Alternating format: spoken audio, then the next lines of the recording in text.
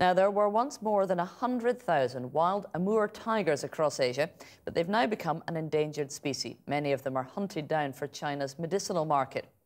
Conservation experts are trying to save them, including one orphan cub who was found exhausted and frostbitten in the wastes of Siberia. And instead of keeping her captive, they managed to release her back into the wild, as our Asia correspondent John Sparks reports.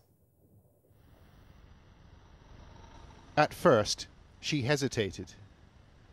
But when the moment came, her departure was swift.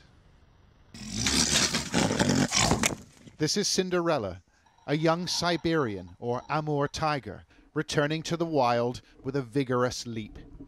They call her Zolushka in Russia, and many here think the future of the species now rests on her youthful shoulders. She was starving and frostbitten when they found her and her mother had been killed by poachers. But instead of asking a zoo to take her on, the conservationists tried something new. They built a large enclosure in the wilderness and took on the job of Cinderella's mother. They began preparing her for life in the wild. It was an ambitious idea, something that hasn't been tried before. Well, this little one showed up with um, around the edge of a village.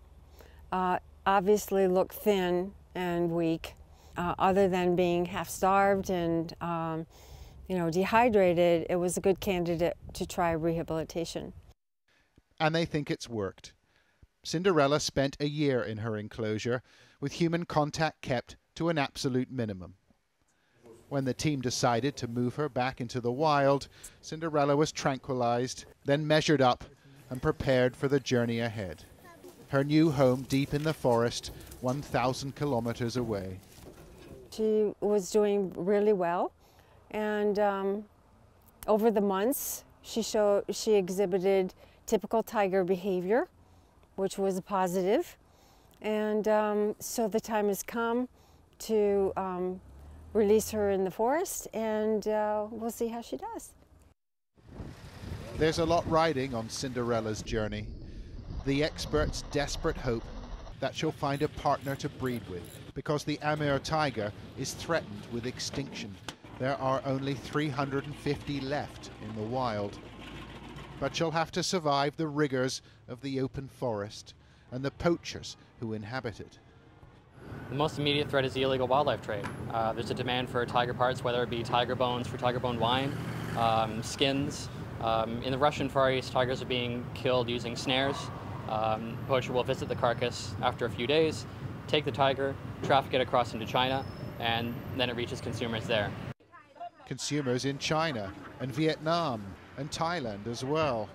People who buy tiger parts for their medicinal properties, for strength and virility. And rising affluence in the region means more people are willing to pay.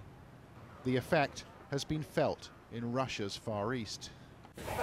At least 20 Amur tigers have been killed in the last 12 months, despite the efforts of those who try to track and protect them.